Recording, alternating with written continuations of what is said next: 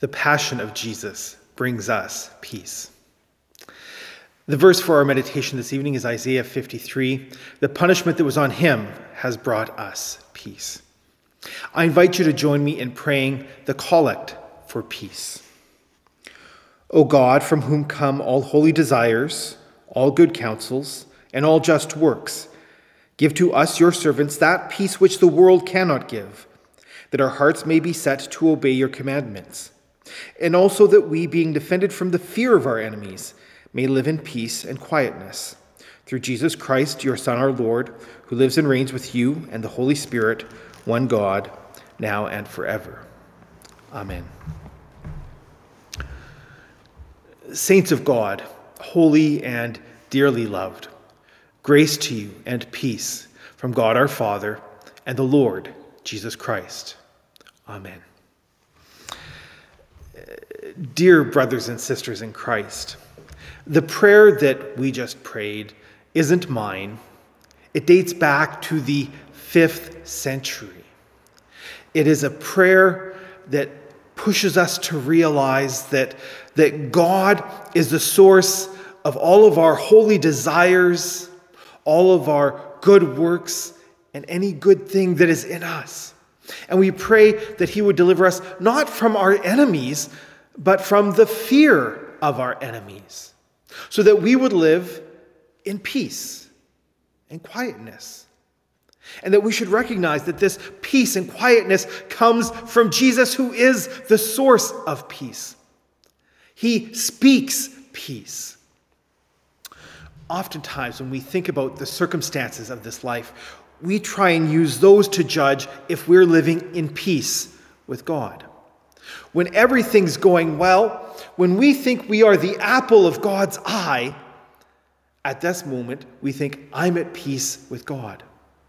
And when, when life seems like it's a living hell, when we ask if God has turned his back on us, we wonder, am I not at peace with God? Is he against me?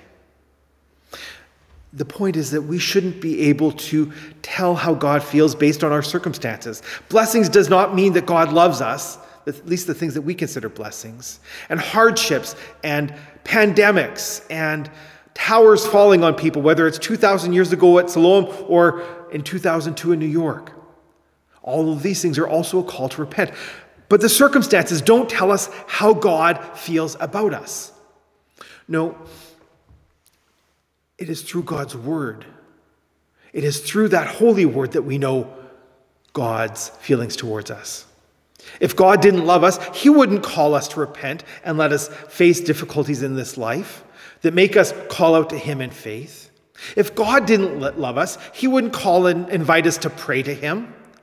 He would abandon us to hell, and we would deserve it if God didn't love us. God sent His only begotten Son, that, that better word, the word that could never be taken back, that sure and certain word. He speaks to us by His Son so that we would know the love of God. But he's done more than just speak, he has acted. The Word became flesh to do everything so that we would belong to God. And it is by the Word that you hear of his great love for you. You hear that he has justified you, he has made you right with him, and that he calls you back to him. The prophet Isaiah spoke of Jesus, saying that the work of righteousness and peace is the product of his work, and that security and peace forever would be the benefit. The benefit of this is that it doesn't depend on us, on our works. It doesn't leave us doubting in uncertainty, anguished over the questions Am I a Christian? Am I one of the elect? Am I righteous enough? Do my fruit of faith prove that I'm a Christian? No, the word of peace directs our attention to what Jesus has done that he never committed a sin, that he bore our punishment. Isaiah glorified God, saying, Lord, you assure us of your peace by all that you do, and that you have accomplished for us. The punishment that brings us peace was laid on Christ. And so our comfort comes from hearing that word. It comes from the certainty that He has called us to be His children, when He has placed His name on us in the waters of baptism. Then we hear that word, take and drink. This is my blood of the new covenant, shed for you for the forgiveness of your sins. The word and the sacraments don't depend on us, but they proclaim that Christ has done everything for you. The Word of God is a word of peace that brings us peace. What did Jesus say to the disciples on the night of his resurrection when he appeared before them in the upper room? Peace. Peace be with you. That word of peace is a word of forgiveness. It's a word by which, by which Jesus says to them, I forgive you. I have died for the forgiveness of your sins. Would I have bore them on the cross and still make you hold on to them and pay the price for them? I'm not against you. I'm not punishing you. I'm leaving you peace. I'm giving you my peace. I do not give as the world gives. Let not your hearts be troubled. Do not be afraid. The passion of Jesus is a word of peace for the people of God and for this world. And so it is that we will put aside our arms. You see, God invites us to do that. You can't, on one hand, hold on to the promise of peace and forgiveness, and on the other hand, hold the intention to continue on sinning. You can't just say, Well, I know what I want to do is wrong, but I'll do it anyway. I'm not going to worry about it. God will forgive me. That would be like saying, Well, I'm a lion trainer, and I can mistreat them, and I can do whatever I want to them. I can do it all because I look after them and I feed them. And so they won't scratch me, they won't claw me, they won't attack me. Well, that happens. A lot of people live as enemies of the cross of Christ. They try and treat God like he was a domestic cat rather than the lion of the tribe of Judah. The Lord said by the prophet Isaiah, I will cause to be born praise from their lips, and I will give them peace. Yes, a peace to he who is near and to he who is far, says the Lord, and I will heal them. As for the evildoers, it will be for them like they are an ocean that is disturbed, that cannot be calm because the, the waters keep rising up, and there is no peace for the evildoers says my God. All the world wants there to be peace, but that desire doesn't actually offer a solution. I remember a number of years ago, I received a call to serve a parish. And in the call documents, they, they said, We are now a peaceful congregation. I asked them, uh, What was the conflict beforehand? And they hadn't even realized what they said. Well, it's that word now. That word now gave away that they had had a conflict. And I asked them about it. And I don't remember the details, but what I do remember is they never, they never came to peace with one another. A group of their brothers and sisters in Christ had left them. And there was no reconciliation. The two sides avoided each other. What a tragedy that they refused to humble themselves and to forgive each other. They threw peace to the side and refused to let God's peace and forgiveness work in them because they were forgiven. By the forgiveness of sins, the passion of Jesus brings peace. Jesus has paid that debt. The sin that separates you from God has been dealt with. God restores tranquility. There's no more hostility between us and God. And so the question is, is are we going to live in such a way to continue to live in hostility towards others?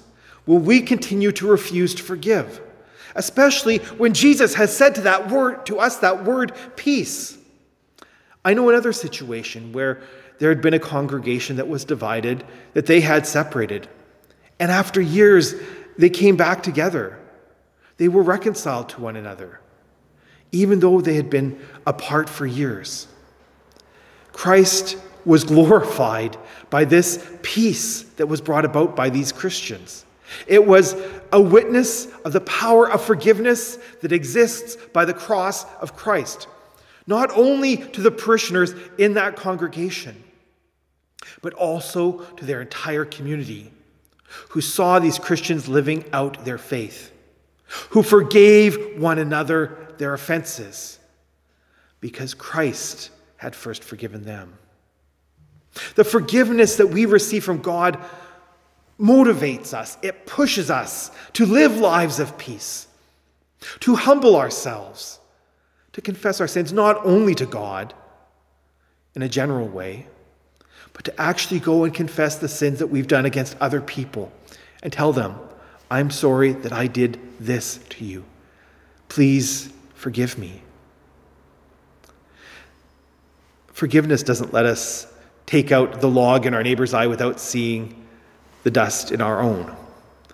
No, uh, God calls us to all to repent and that we would be restored to one another.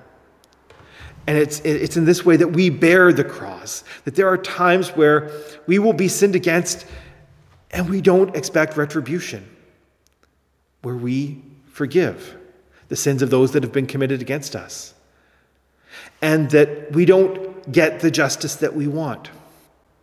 Freely you have received, freely give. This applies to forgiveness. And Paul writes to the Ephesians talking about this peace that comes between us and other people. Jesus is our peace. Now, Paul was specifically talking about the hostilities that were between Jews and Gentiles. And he says that Jesus dealt with the hatred that separated them. By his death, he rendered powerless the law with its commandments and its rules to create for himself one, soul, one, one, one single man out of the two and through that, he established peace. He wanted to bring to peace these two sides so that they would live under the cross.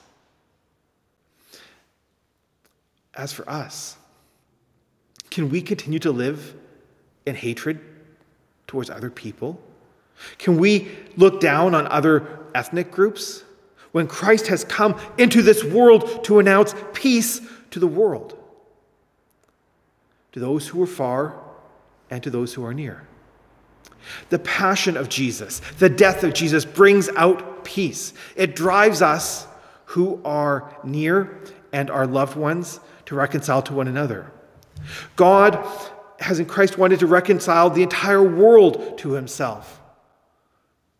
In doing this, that we would have peace through him by the blood of the cross. And that is what God has accomplished. The passion of Jesus brings us peace.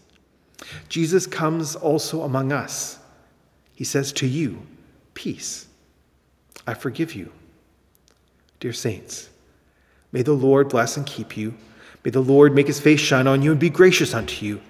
May the Lord look upon you with his favor and give you peace.